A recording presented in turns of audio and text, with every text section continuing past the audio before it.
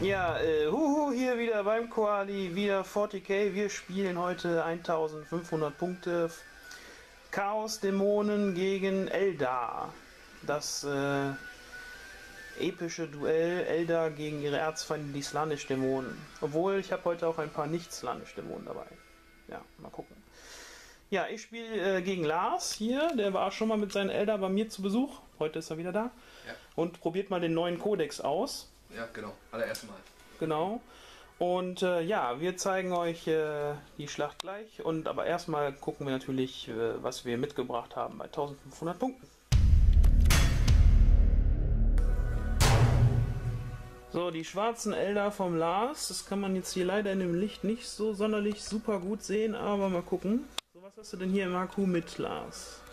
Also das Haku besteht aus einem Runenpropheten mit Runen der Klarheit. Der hat dann ganz normal standardmäßig Schurikenpistole und das Hagunsa dabei.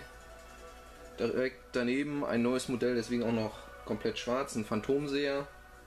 Der macht die äh, Phantomdruiden oder wie sie jetzt auch heißen, Phantomwachen ähm, zu Standardeinheiten. Der hat auch eine Schurikenpistole und einen Seherstab standardmäßig dabei. Und dann habe ich noch ein Rad der Seher, einen Runenleser dabei, ähm, mit Runenspeer, Elder Jetbike, ja. Mhm. Ansonsten, wir hatten ja gerade schon die Warlord Trades da mal, Kriegsherrenbegabung mal ausgewürfelt. Ich habe hier bekommen aus dem Elder Buch Blick für zukünftige Ereignisse. Ich kann in einer Schussphase vorher ansagen, dass ich das habe. Dann haben alle Einheiten um mich herum in 12 Zoll die Sonderregel Tarnung. Mhm. Ja. Ansonsten. Ähm, Standard? Standards. Ja, eigentlich ist alles Standards jetzt fast. Okay. Wir Ähm, an? ja, wir können gerne von rechts anfangen. Wir haben hier zwei äh, Zehner-Trupps äh, Gardisten mit Impulsleser. Dahinter ein Dreier äh, Jetbike-Schwadron mit einer Schurikenkanone, wo sich dann der Runenleser mit anschließen wird. Deswegen steht er da auch schon. Mhm. Dann habe ich hier vorne fünf Ranger und fünf Phantomdruiden. Die werden dann mit dem Serpent durch die Gegend die alten Modelle, deswegen auf kleinen Bases. Genau. Mit einem Serpent. Wer ist sitzt im Serpent? Die Druiden? Genau, da werden höchstwahrscheinlich die Druiden mitfliegen. Ja. Und dann eben halt gucken. Ähm, was man jetzt hier am Serpent nicht sieht, ist halt, da habe ich leider vergessen, die Waffen auszutauschen. Dieses Serpent pflegt mit synchronisierten Impulslesern. Ja, ansonsten haben wir noch einmal 10 äh, Skorpionkrieger. Der Ex-Arch der Skorpionkrieger hat die Skorpionschere und das Skorpionschwert und die Sonderfähigkeit Meuchler. Ja, ansonsten habe ich hier noch einen Flieger, ähm, den ich hier als äh, Forge World Nightwing spielen werde. Ja. Ja. Mit zwei Laserlanzen, zwei Schurikenkanonen. Mhm. Und ganz rechts außen habe ich noch äh, die Schattenspinne dabei und einen Falcon, der hat halt standardmäßig einen Pulsar. Dann habe ich ihm zusätzlich noch gegeben die Schurikenkanone und einen Impulsleser. Das müsste es gewesen sein. Okay, dann gucken wir mal, was die Dämonen mitgebracht haben. So, die Dämonen haben mit im HQ einen Hüter der Geheimnisse. Der hat eine mächtige und eine erhabene äh, Geschenk bekommen. Nämlich hat er die Peitsche des Lanisch und die Portalglyphe. Dann ist er Psyker Level 2 und hat Psychic Shriek und Invisibility. Jo, ähm, außerdem hat er als Warlord ähm, ausgewürfelt, dass alle seine Nahkampfattacken Instant Death machen. Kann ganz nützlich sein. Dann der Herold. Ähm, der hat drei geringe Geschenke und zwar hat er das AP2-Schwert. Äh, dann hat er Cleaving Strike, das heißt alle Sechsen, die er beim äh, Trefferwurf würfeln, verdoppelten die Stärke. Und außerdem noch Corrosive Breeze, also die Atemattacke mit Stärke 5 und Armor Bane. Dann in der Elite zwei einzelne Schleimbestien des Nurgle. Im Standard einmal 14 Dämonetten ohne Standarte. Ich habe leider kein extra Modell, deswegen da hinten. Aber mit Kurtisane vorne, die hat aber auch keine Geschenke bekommen. Und einmal 15 Dämonetten, auch mit Kurtisane, auch ohne Geschenke. Im Sturm 8 Bluthunde des Korn Und sechs äh, Jägerinnen des Slanisch mit Standarte und oberster Jägerin, aber keine Geschenke diesmal. Dann in der Unterstützung ein Seelenzermalmer des Nörgel mit explodierendem Auswurf, eine Jagdstreitwagen des Slanisch, also der mit den zwei Höhlenpunkten, und ein Dämonenprinz des Slanisch, der hat bekommen die Peitsche des Slanisch, ähm, das Grimoire der wahren Namen und als Psy-Kräfte Iron Arm aus der Biomantie und äh, Psychic Shriek und Dominate aus der Telepathie. Das ist meine 1500 Punkte. Mal gucken, wie sie sich gegen die Elder schlagen. Äh, wir sehen uns dann nach der Aufstellung. Wir spielen das Relikt. Hier um diesen tollen Koala hier. Und äh, Hammer and Anvil, also über die langen Kanten. Das ist nicht für, gut für eine Nahkampf-AW wie meine. Aber mal gucken. Die Eltern sind ja auch schnell. Vielleicht wollen sie sich ja auch prügeln. Ich fürchte nicht, aber naja. So, hier sind wir bei der Aufstellung gelandet. Wir haben das Relikt nochmal ausgetauscht. Koala gegen Pfeil, weil Pfeil ist besser sichtbar. So, die Eltern haben hier aufgestellt die infiltrierenden Skorpionkrieger. Hier hinterm Haus. Hinterm Häuschen. Dann hier, äh, wie heißen die jetzt? Diese Standardtrupps? Gardisten einfach. Gardisten, Weiß jeder, was gemeint ist. Gardisten, Serpent. Ist im Serpent was drin? Ja, die Die Droiden. Phantomdruiden, der Ruhenprophet und der Phantomseher. Okay, sind alle da drin. Ja. Also, da ist der, äh, die Spinne, ne? Die Ranger, das ist das der Ilumzar. Nee, das ist der Falke. Also Falcon, das ist noch was anderes. Okay, ich kenne mich damit nicht aus, aber gut. Und äh, Jetbikes mit äh, Unleser. Unleser. Ja, und der Flieger ist natürlich in Reserve. Sind noch was in Reserve? Nö. Okay. Bei mir hier die Hunde, die scouten gleich noch nach vorne. Dahinter ein der große Trupp Dämonetten und hier ist der Seelenzermalmer.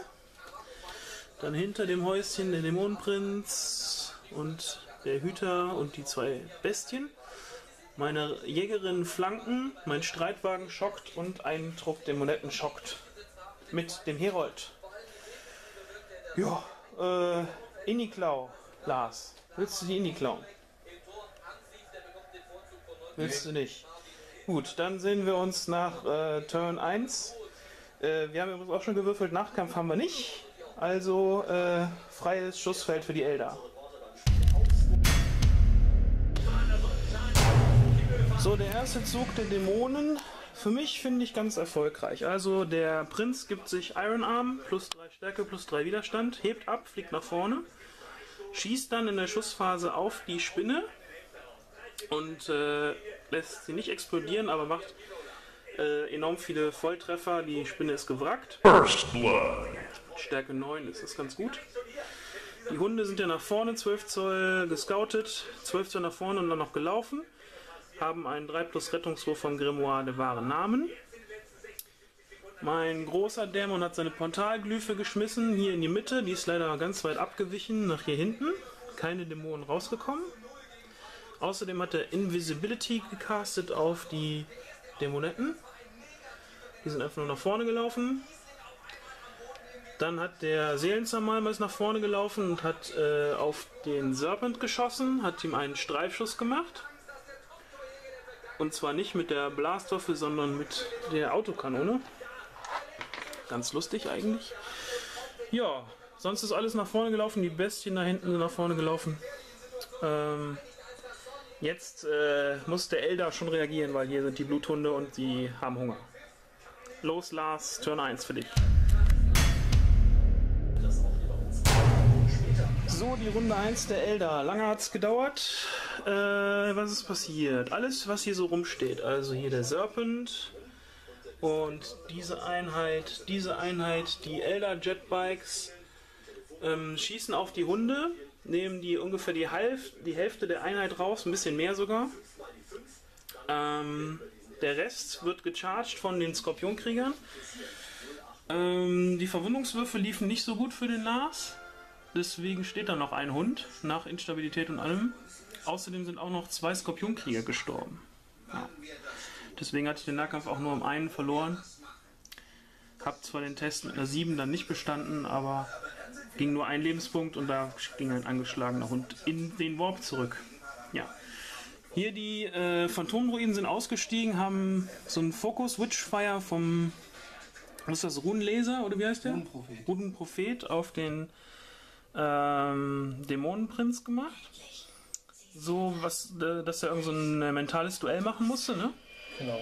Aber er hat nicht. zum, müsste nur die 2 beim Treffen würfeln und würfel die Ja, die 1. 6, er fliegt ja. Aber hast du nicht getroffen? Ja. Auch auf die 2 hättest du nicht getroffen. Stimmt, richtig, er ist ja geflogen. So, ähm, also nichts dabei. Ähm, dann hier hinten die, äh, die Sniper haben auch auf den Dämonenprinz geschossen. Eine Wunde durchgekriegt. Absturz zuerst nicht geschafft und meine Rüstungswürfe auch nicht geschafft. Und zack, liegt er am Boden mit zwei Wunden. Dann hat hier hinten der Falcon hat eine Schleimbestie exekutiert, die hier hinter dem Haus lag. Und das war's auch schon. Und jetzt äh, Runde 2 für die Dämonen. So, der zweite Zug der Dämonen. Ja, ging so, würde ich sagen. Ähm, fangen wir hier an. Alles, ist, alles aus meiner Reserve ist gekommen. Hier sind die Dämonetten hingeschockt. Haben mit der Flammenschablone vom Herold hier so reingerotzt. Haben einen Gardisten getötet dabei, ne? Äh, ich glaube, zwei von den Phantomdroiden und dem Serpent einen Höhlenpunkt abgezogen. Der ist außerdem jetzt äh, shaken. Ähm, ja. Der Dämonenprinz ist immer noch im Flugmodus, ist hier rüber, hat auch auf die Phantomdroiden-Einheit geschossen, hat glaube ich keinen getötet, ne? Der ist alle ger- gerettet.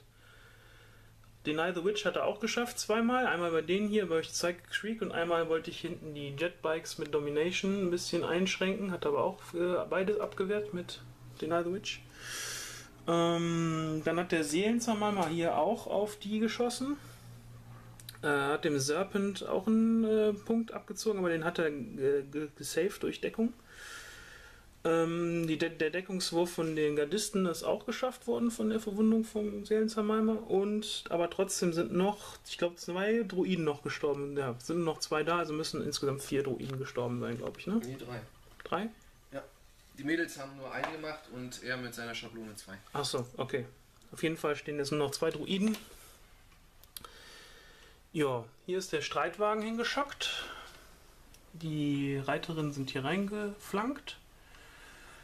Ähm, dann bin ich hier in den Nahkampf gegangen mit der Schleimbestie und mit den Dämonetten in den Nahkampf mit den Skorpionkriegern. Die haben die komplett aufgeraucht. Im Gegensatz haben die Dämonetten zwei Dämonetten verloren.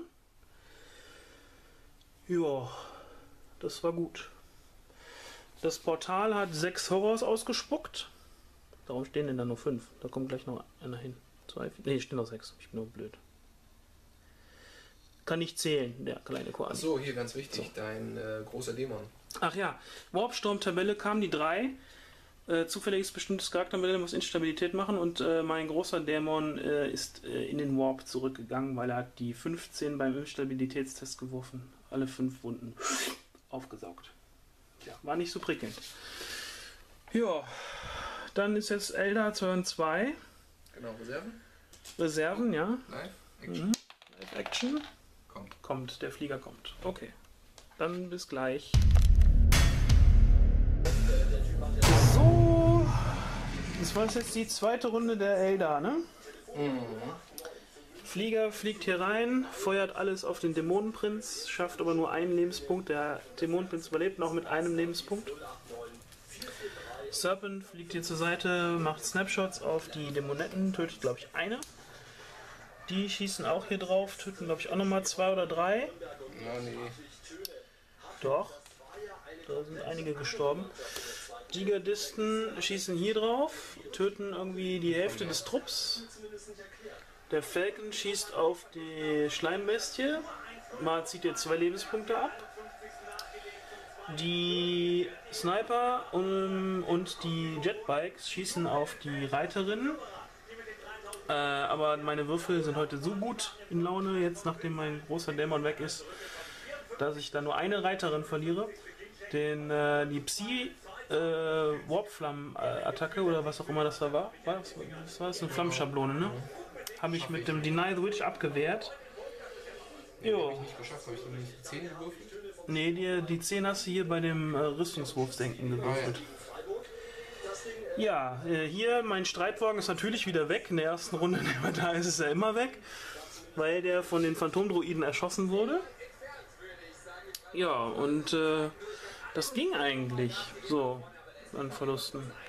Jetzt gucke ich mal, ob ich die Elder jetzt eintüte. In Runde 3. So, Runde 3 Dämonen.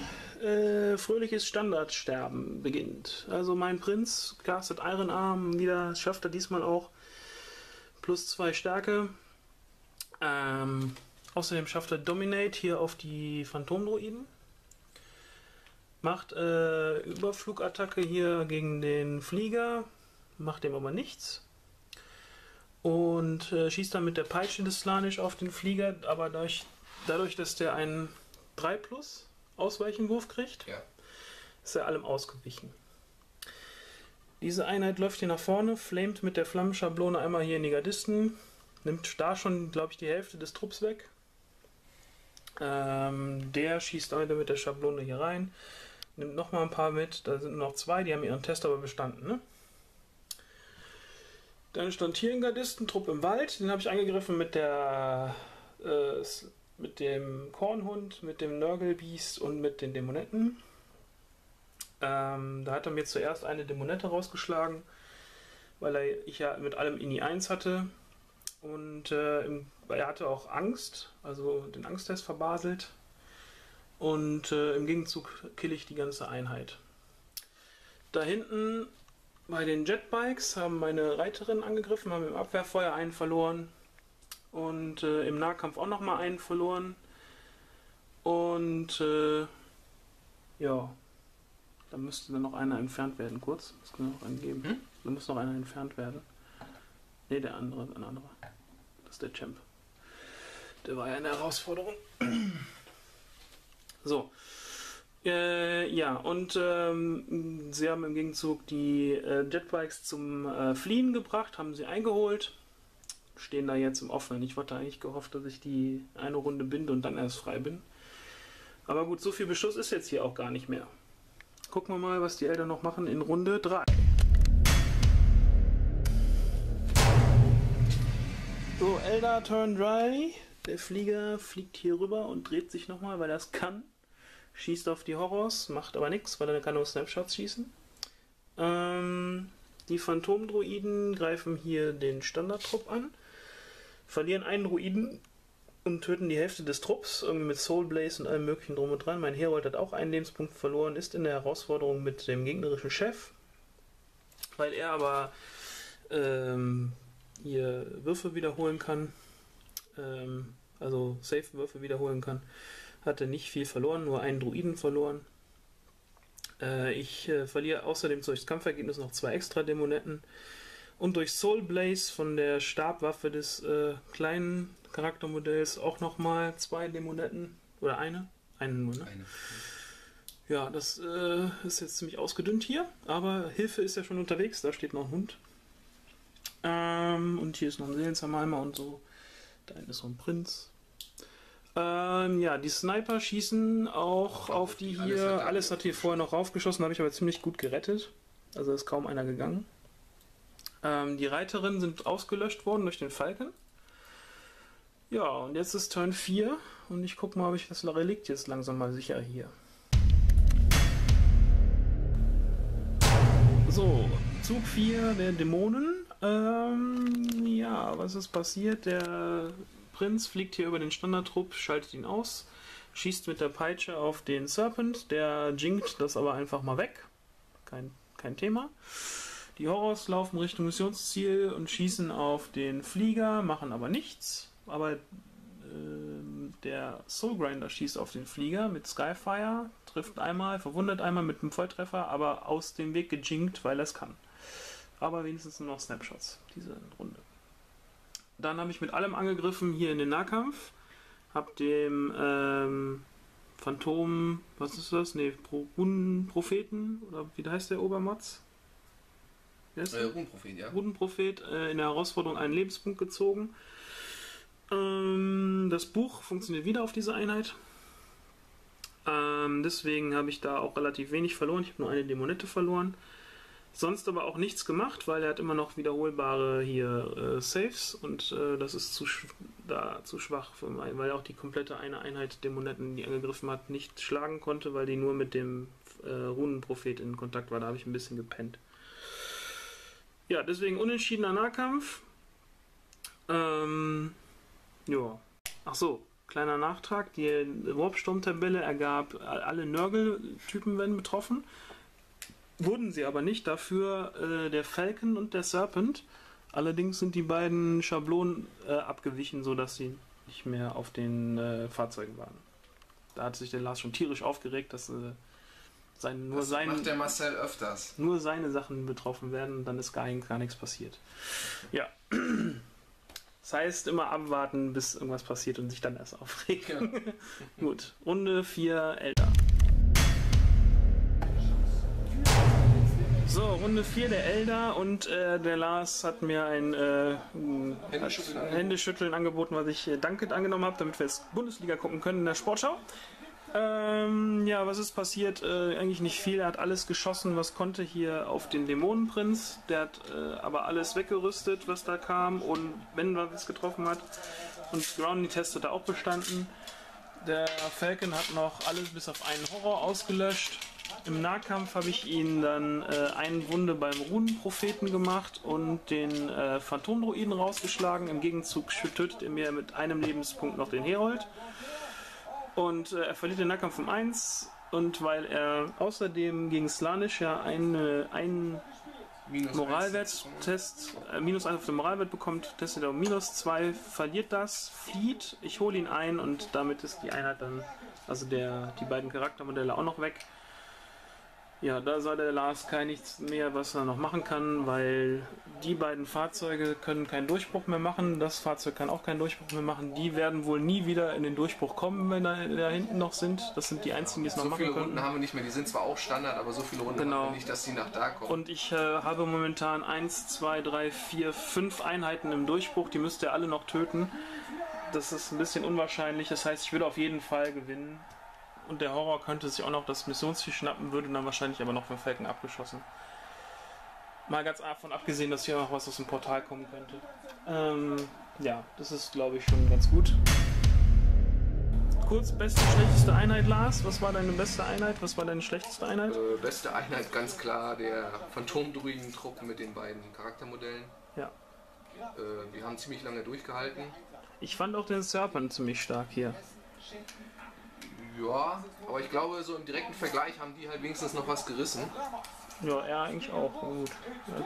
Und der Falcon war auch nicht schlecht. Ja, also muss man sagen. Also die Reihenfolge ist halt wirklich wichtig, aber das wissen, glaube ich, alle Elder-Spieler sowieso. obwohl der, der, der Falcon eigentlich nur ein Tick besserer Serpent ist. Also wenn, dann würde ich vielleicht noch mehr Serpents spielen. Also. Ja, naja, der hat halt hier mehr Bewaffnung drauf, ne? Das ist halt. Ja, aber das hat jetzt nicht so viel ausgemacht, fand ich. Der könnte ja noch sein Schild schießen eigentlich. Das hast du ja nicht Ja, aber dann gemacht. darf ich es ja nicht benutzen. Ja. Also von daher, ich finde, äh, alle die, die denken, Falcon ist scheiße, also ich muss sagen, da hat der Marcel recht. Auch wenn er vielleicht nicht äh, Einheit des äh, Tages bei den Elder war, äh, hat er schon gut hier in einer Runde immer was weggeschossen.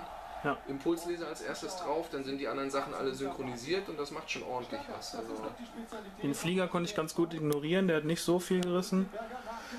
Ja, schlechteste Einheit. schlechteste Einheit.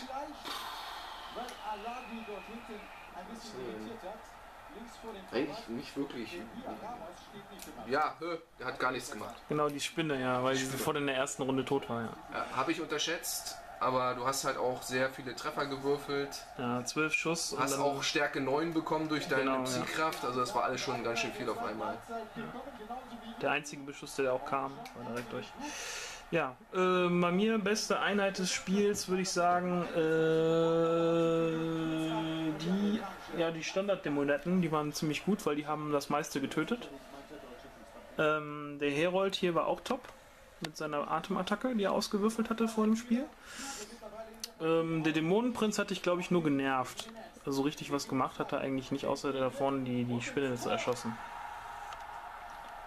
Und ja, schlechteste Einheit natürlich wieder mein Streitwagen, aber ich höre nicht auf, ihn zu spielen. Gut, ich hoffe, es hat euch ein bisschen Spaß gemacht zum Gucken, ähm, auch wenn es jetzt wieder ein Aufgabespiel war hier ähm, im vierten Zug. Meine Dämonen können doch ein bisschen was. Ich habe das auch irgendwie gedacht, ich werde ein bisschen mehr abgeschossen, aber die sind schon ziemlich aggressiv in der ersten Runde. Du hast dich auch einen Tick zu weit vorne aufgestellt, fand ich. Du hättest, glaube ich, noch ein bisschen weiter hinten aufstellen. Ja, ja, der Knackpunkt ist ja, ich habe ja auch nicht so viel Reichweite. Ne? Also was ich vielleicht, können die Zuschauer ja sagen, hätte machen können, das fiel mir dann so im Nachhinein ein, ich kann ja schießen und noch laufen. Vielleicht hätte ich die noch weglaufen sollen, das fiel mir dann aber auch erst zu spät ein. Ja. Bei denen da drüben war es eh irrelevant, weil du da direkt daneben gelandet bist. Ja. Und äh, die Katapulte schießen halt nur auf 12 Zoll und da kommst du eigentlich mit Bewegung und Angriff immer relativ entspannt ran. Ich fand auch als Standard sind auch die Gardistentrupps auch nicht wirklich gut. Also sie sind okay, aber ich glaube, der Elder als Elder-Spieler hat man bessere Alternativen im Standard mit den äh, Druiden und äh, den J Jetbikes. Ja, na, die Druiden werden ja nur Standard durch den ähm, Ja gut, den hast du aber mit, ne? äh, Jetzt auch noch mehr Druiden spielen können, anstatt Ja, den Ruhmpropheten. Äh, Phantomseher. Ähm, ja, müsste man sich halt dann kaufen, ja. Ja, gibt es ja jetzt als Plastikkit. Ist ja Okay, danke fürs Spiel, Lars. Ähm, dann demnächst äh, vielleicht mal wieder gegen was anderes, Sisters of Battle oder so. Muss ich auch mal wieder spielen. Ja, okay, dann tschüss, würde ich sagen.